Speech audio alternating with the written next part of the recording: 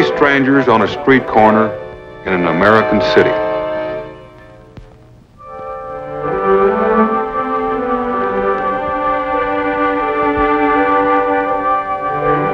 Three generations from different backgrounds. Yet these three men have much in common. Each has been a soldier in the United States Army. The gentleman with the graying hair can still remember the beachhead at Salerno in 1943 when he came in on the first wave of General Mark Clark's assault troops.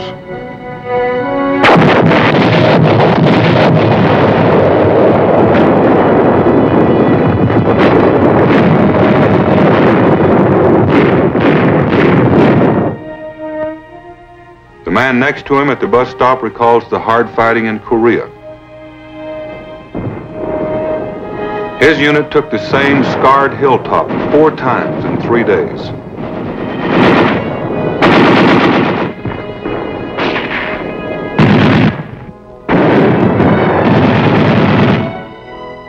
For this young man, the memory of combat is so fresh he can still smell the mixture of aromatic rice paddies and burnt cordite, which will always remind him of Vietnam. The unseen bond between these men is close. They've all known combat, they've all been infantrymen, and they have all known what it is to have earned the High Infantry Award of the Silver Rifle.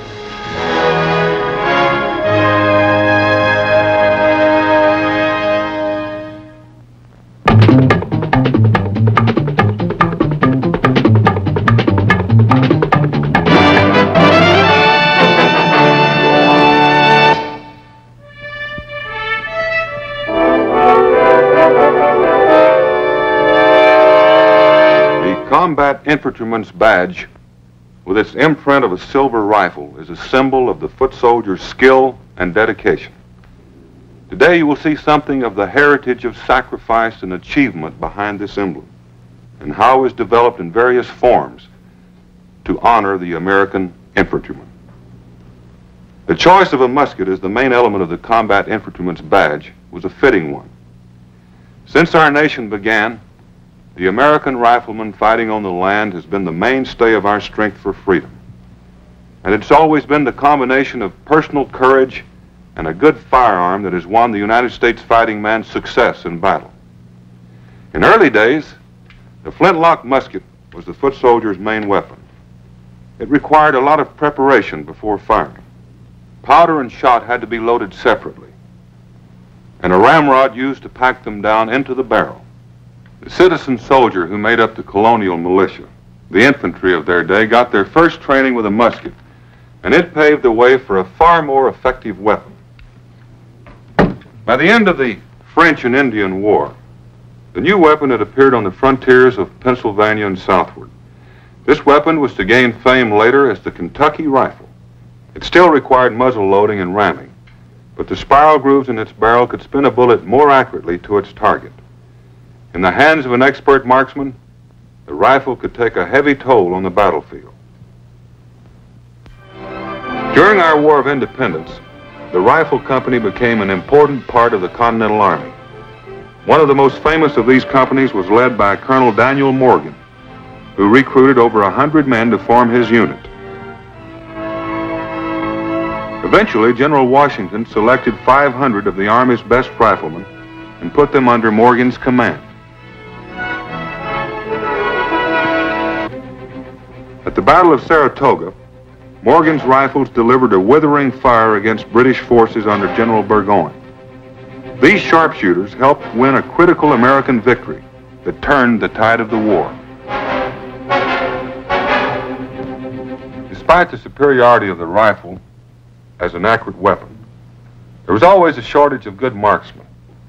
The musket, effective at a short range and adaptable to a bayonet, continued to be the basic weapon for the infantryman through most of the 19th century. By the early 1900s, the foot soldier's weapon had changed a lot. It was still fairly large and heavy, but it was a much more accurate and reliable firearm. When an officer asked a soldier to name his weapon during an inspection, he would rattle off U.S. rifle, caliber 30, clip-fed, bolt-operated Springfield 1903. The man who carried one of these on his olive drab shoulder was called a doughboy. but he was still what his great-grandfather had been. The soldier on foot with a well-cared-for weapon and the job of taking ground and holding it. And like his grandfather, he was good at his job. During the first few years of the new century, if rifles were in short supply, he trained with wooden models.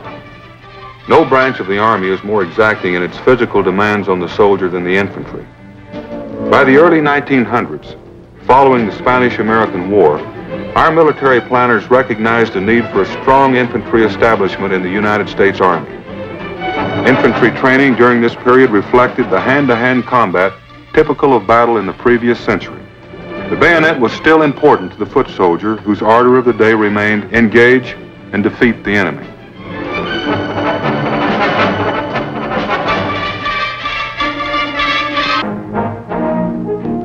The summer of 1917, it was over there for the doughboys.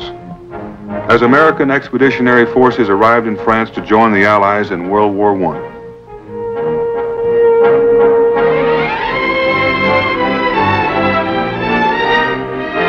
The commander of the AEF was General John J. Pershing, a natural leader, a thorough organizer, and a strict disciplinarian. He began military operations in France with a U.S. Army of about 200,000 men. Before the fighting was over, more than two million men made the trip across the Atlantic to the battlefields of France. The names are famous in military history. Soissons, Reims, Chateau Thierry, the Somme, Belleau Wood. This was a war of massive infantry advances in the face of heavy enemy fire. It took courage and it took skill to go over the top. And it took a lot of men to do it.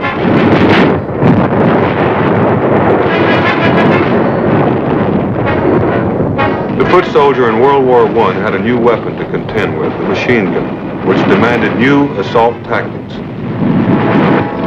Troops had to be spread out with greater distances between the men to reduce the effect of the enemy machine gun fire.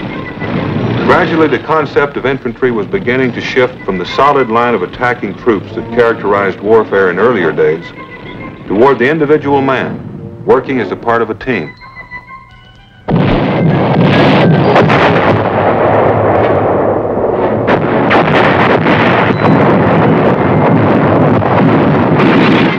Throughout history, the foot soldier has always received support from other Army elements. In the First World War, the tank, developed by the British, moved successfully against the enemy's machine guns and provided effective support for infantry attack. But more than in any war up to that time, the infantryman found himself faced with the challenge of making his way in battle largely on his own initiative. With only his weapon, his courage, and his belief in his cause to see him through.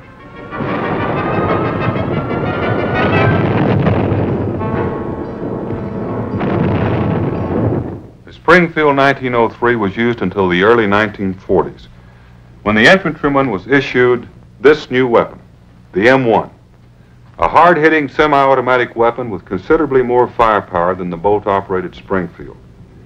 And again, the weapon and the man proved an unbeatable combination. They got acquainted at training camps all over the country. Instruction became a way of life for the soldier as he learned all there was to know about the new weapon. Above all, he learned to fire it with safety and accuracy under the watchful eyes of his instructors. While mastering the M1 as his new basic weapon, he had to learn to operate a whole new group of infantry weapons. The submachine gun,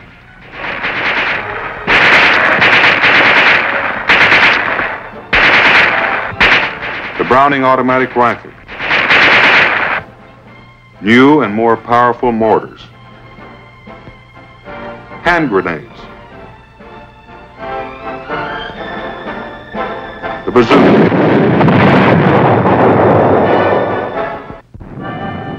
The flamethrower. The infantryman had to learn to adjust to complex enemy defensive measures, such as landmines and booby traps. But now more than ever, the foot soldier learned to fight as a part of a team, to work out intricate field problems for squad or platoon.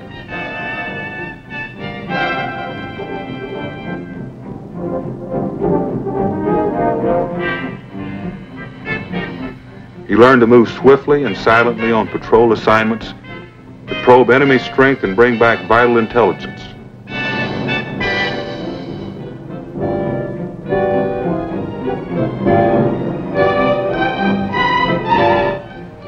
Special types of infantry troops were developed such as mountain forces, capable of operating on rugged hill terrain.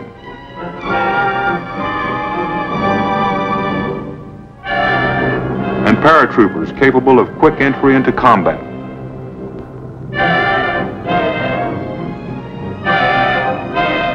Gradually, the concept of the foot soldier as a specialist in the infantry arts began to affect the makeup of the regiments and divisions.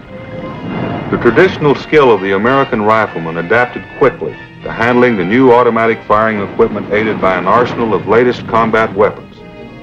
This new breed of individual infantry experts was about to meet the greatest military challenge in American history, the Second World War. In the East, they would face a strong, aggressive military force bent on Pacific conquest.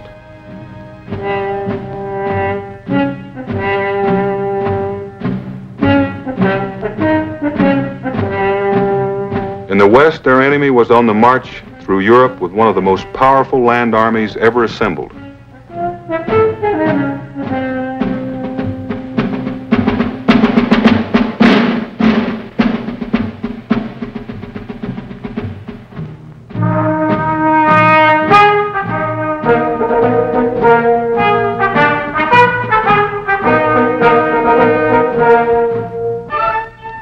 Arms and equipment for the vast number of foot soldiers and other military components we were to send overseas, American industry, in cooperation with military planning and research, mobilized its resources. As never before, a nation drew its battle lines behind its fighting men and gave them not only the means to fight, but the spirit and the will.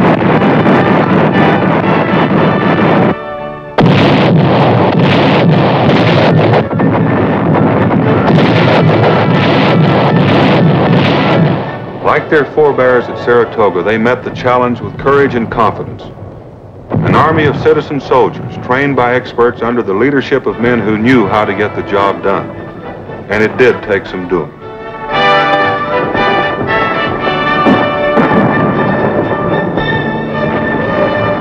Mobility without precedent in the history of warfare took the U.S. foot soldier of World War II far from his shores. Wherever he went, whatever his assignment. His essential mission was the same. Move in on the land, take ground from the enemy, and hold it.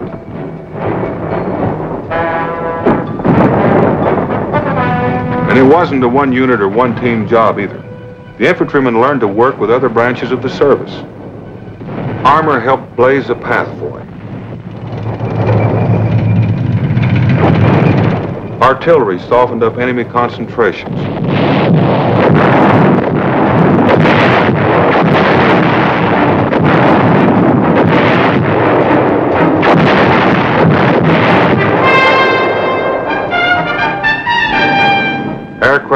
Battered enemy industrial and munition centers.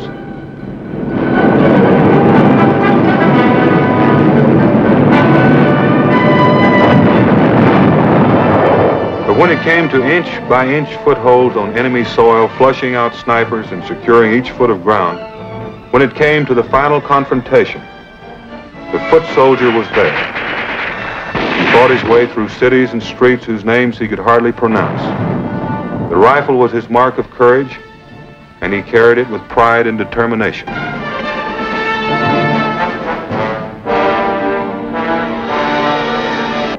It was in recognition of the foot soldier's tough, hard-hitting role in combat that World War Army Chief of Staff General George C. Marshall took the initiative in arranging for the development of awards to honor the infantrymen. Personnel of the heraldic activity of the Office of the Quartermaster General of the Army were given the mission of designing a badge that would foster pride in the infantry service and symbolize proficiency in infantry arts. Heraldic artists went to work on the assignment. Sketches were prepared. Many different designs for an infantryman's badge were developed and submitted for approval. Each sketch was studied carefully and the designs coordinated with the Office of the Army Chief of Staff. Finally, a design for an expert infantryman's badge was approved in 1943. Its main feature was the silver replica of a musket, recalling the early riflemen who first established the high standards that have been the infantryman's tradition. The expert infantryman's badge is awarded to the infantryman who has satisfactorily completed Army proficiency tests in the infantry arts while in training or while assigned to a unit. A higher award was devised for the soldier who has served in actual combat. The Combat Infantryman's Badge. Developed from the previous design, this badge features the silver rifle in front of an oak wreath. Under provisions of Army regulations, the Combat Infantryman's Badge may be presented to an infantryman in the rank of colonel and below who has served against an enemy in ground combat. The U.S. foot soldier who won his silver rifle in World War II took it to places which neither he nor history will ever forget.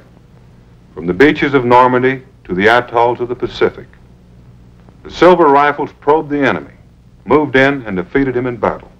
Within five years after the close of World War II, the foot soldier had a new assignment.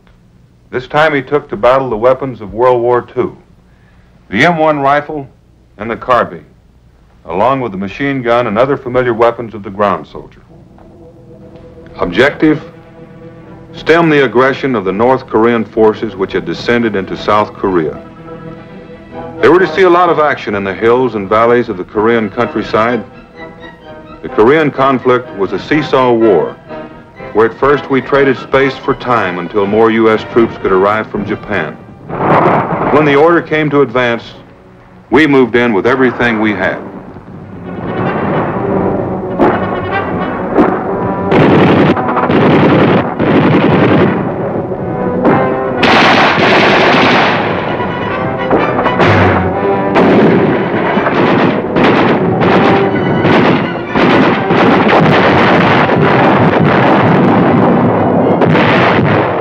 Terrain of Korea restricted the use of armor.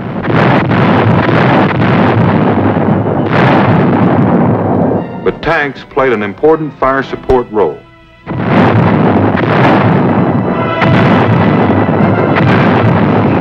However, it was the foot soldier who had to dislodge the enemy from cities and take the high ground. This time the battle names were Pusan, Seoul, Incheon, there was a hill called Old Baldy and another named Heartbreak Ridge. And whichever way the battle line moved, the infantryman was there, still the critical factor in the outcome of battle.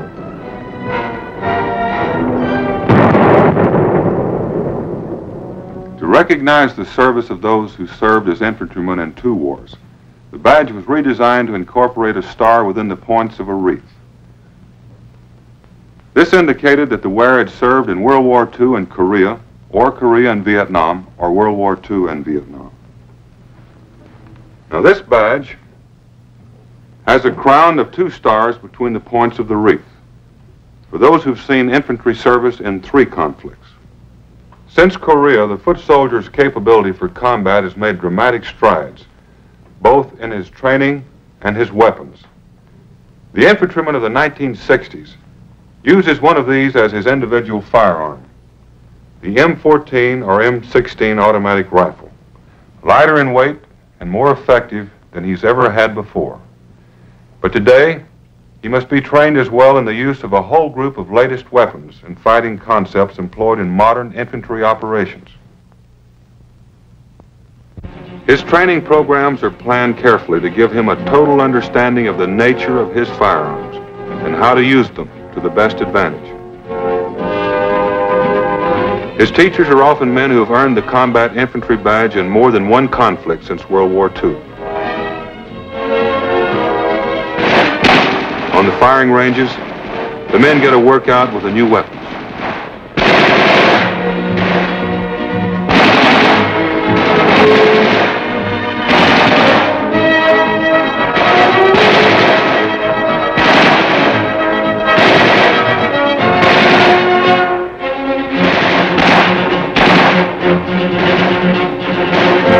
A unique hand launcher adds range and greater firepower to the grenade.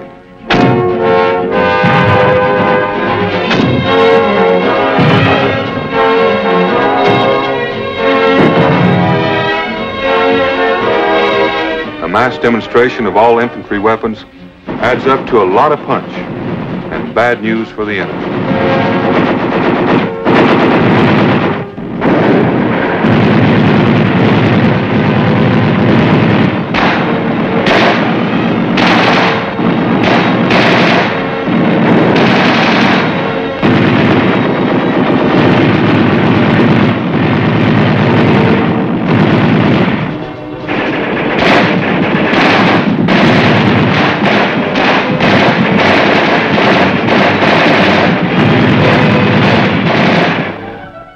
Advanced communications have given the foot soldier a better maneuver capability. He must not only know how to use complex equipment, but how to maintain it in good working order.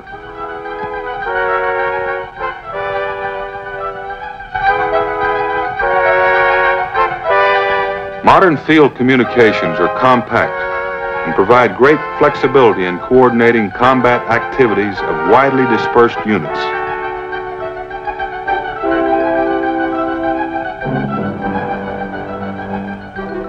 Advanced infantry courses demand knowledge of subjects covering every phase of military operations on land.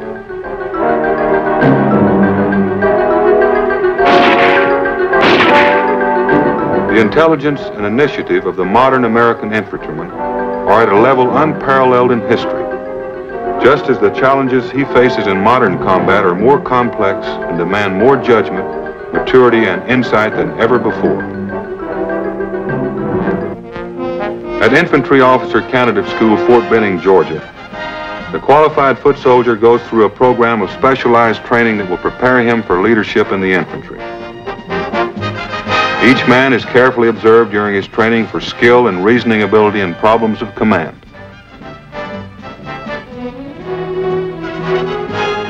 Physical training in the infantry is tough. It's got to be. The potential infantry officer must be able to lead his men anywhere, under any conditions.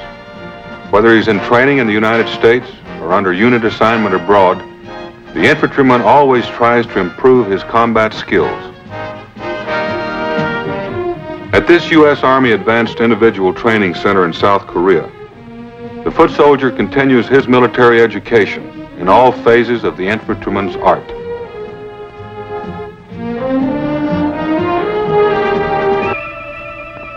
Army training programs today emphasize both individual skills and unit training.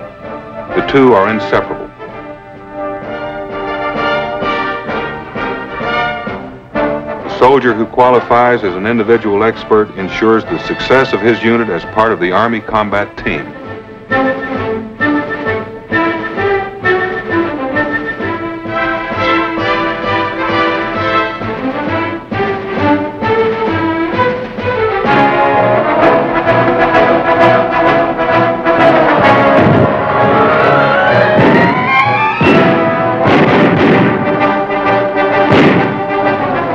New mobility techniques have revolutionized a foot soldier's ability to move to his assignment. The armored personnel carrier takes him to battle with protective cover against small arms fire.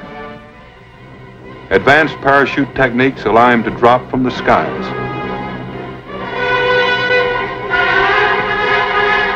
The helicopter puts him down in hard-to-get places where he can strike swiftly into the very nerve center of enemy forces.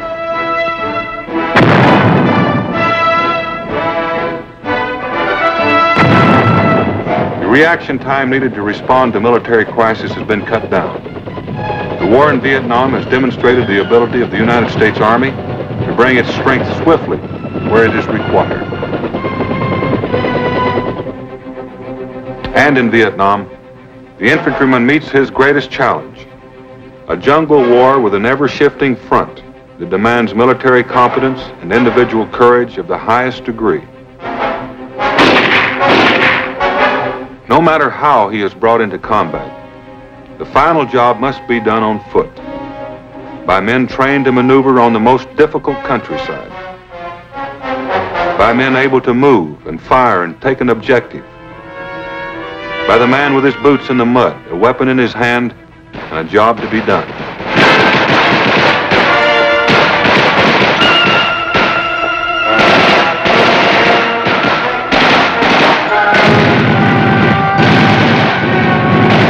The Vietnam War, that job can mean a lot of things. It can mean going out on a reconnaissance patrol to find landing zones for the helicopters,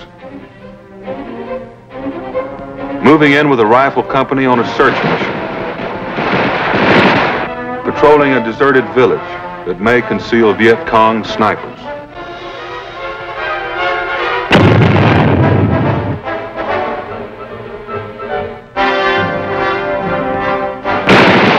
Can mean repelling swift and savage attacks in the jungle, finding his way out of an ambush, destroying enemy caves where we hide men, supplies, and ammunition. It can mean giving medical assistance to the peoples of South Vietnam.